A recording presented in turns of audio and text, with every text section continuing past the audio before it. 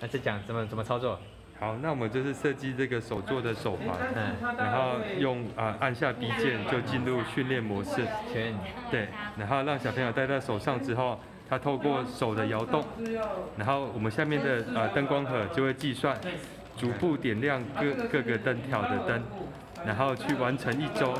那就是可以啊、去让小朋友做完这次的卡路里的一个消耗。那对，全部做完之后呢，它就是会有一个过关的声音，然后去让他完成这次的一个还有过关声音哦。对，会有过关的声音，这样子。对，啊，OK，好。所以先好，